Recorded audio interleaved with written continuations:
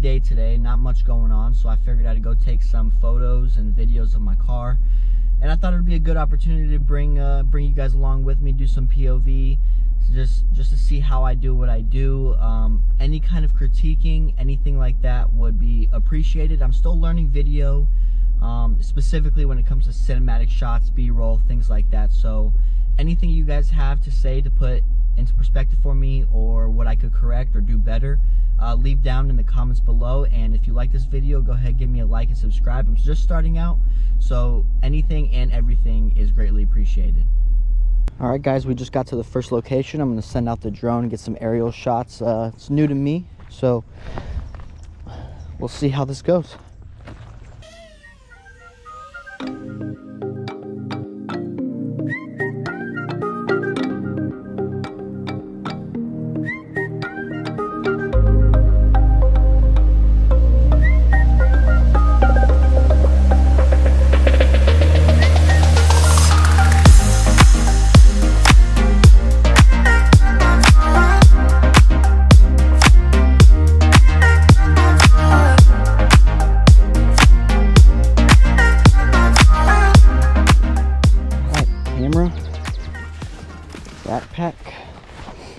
Can't forget the coffee. It's the most important part of the day. Alright, let's see what we can do. Alright, now we're ready for some photos.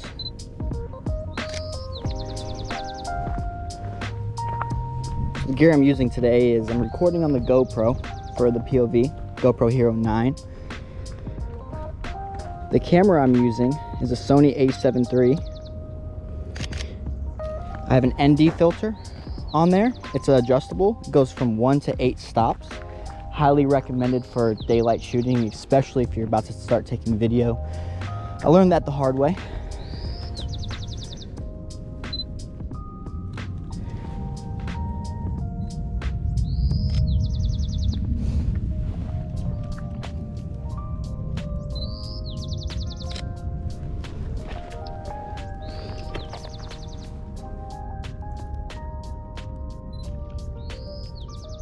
It's really hard adjusting your camera settings for uh, a black car in the middle of the day because you're exposing for both the car and the sun and it makes for a really difficult time. Just trying out different focal lengths, seeing what works, what works best for this spot.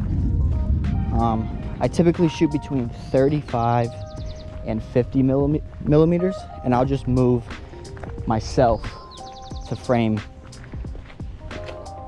the photo how I'd like it.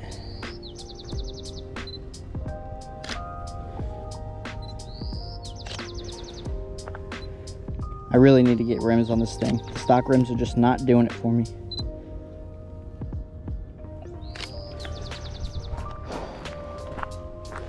All right, a few more shots and we'll move into video.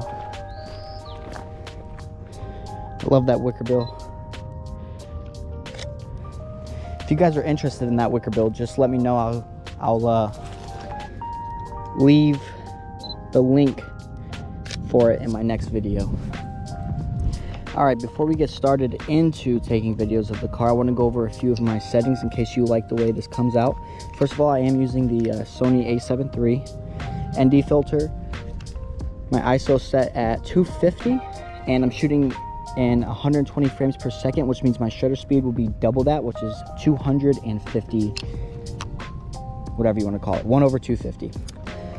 So picture profile I'm using is, is 7. And the Sony a7 cameras, picture profile 7 gives you the best levels, if you will, between shadows and highlights. And being that my car is black and that the sun is super bright today, I want to have that compression so I can open it up and adjust it in post. So my techniques, I actually watched a lot of videos because I don't have a gimbal yet from Peter Mc McKinnon and he says he gets stable video by using a strap and two hands on on the camera so three points of contact. Now the strap will either go behind my head or behind my neck and I will push out against it like so so that I can keep it stable. And yeah. All right first we're gonna shoot shoot landscape for the purpose of this video. So planning this out I'm gonna want to walk into the car. So we'll start here.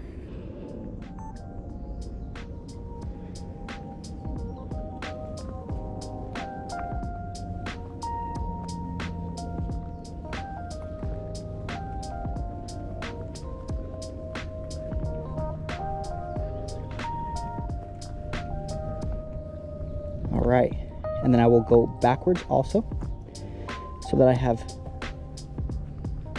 two of the same shots and if you want it to go one way or the other you can just reverse the speed so after that I'm gonna want to get a close-up maybe the front end here see how I want to frame this out get my point. point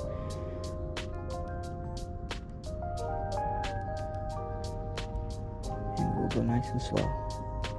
It's also good to remember to overshoot your your scene. This way you have some room to play with. Okay. Here, we'll go from top down. I want to set my focus. It's still manual to the lens. Again, we're in manual focus, so it won't be jumping back and forth. Okay, that looks good. And do I want to go down like this? Do I want to stay crouched and go like this? Well, maybe a mixture of both, actually. All right, let's go ahead and start.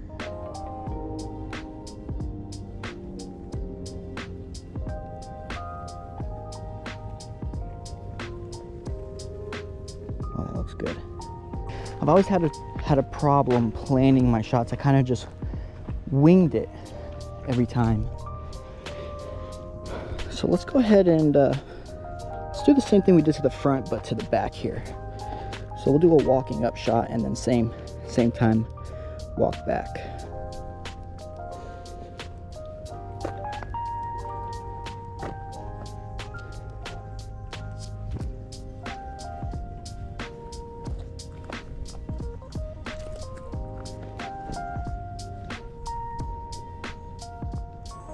Now what I'll do is I will do an orbit shot of the light and part of the wicker bill.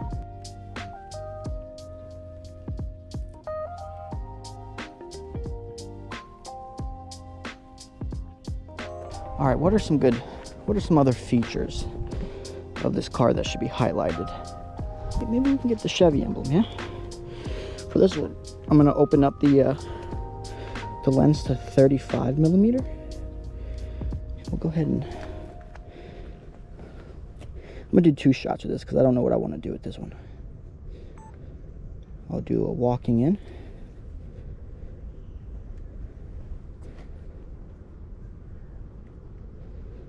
Okay. Then I'll do an orbit around it.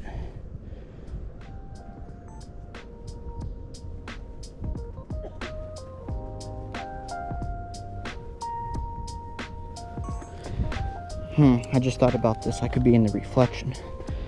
Let's see. Yep, I sure am. Well, that's a learning uh, a learning step that I uh, will account for in the future. But right now, uh, I'm not doing that. Let's go ahead and get some interior shots now. We're gonna use the the widest focal length I like, which is 35 millimeter. Anymore, it kind of distorts it too much. And uh, yeah, this is just the kit lens, so it's not the best lens in the world.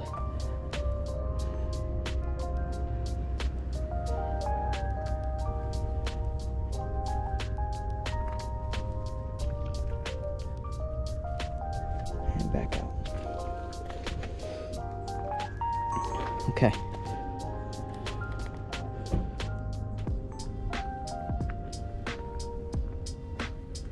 again, we can always just reverse the speed and this will be backwards. Okay.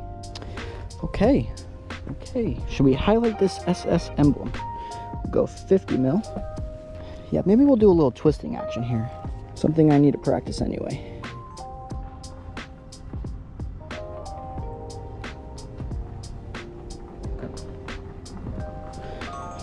Let's try that again. Twisting in.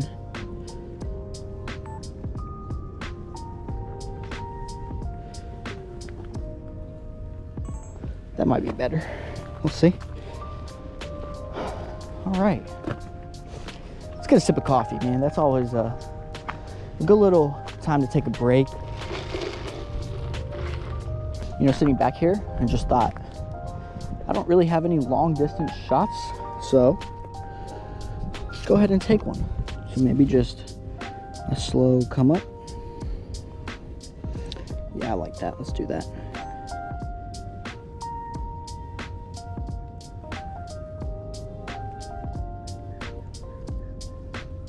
Okay. And then maybe a slow come up with a turn.